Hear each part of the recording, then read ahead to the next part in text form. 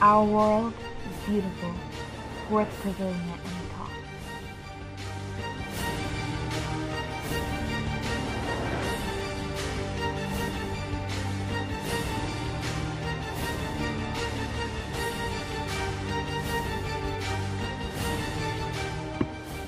We're not telling people how to think.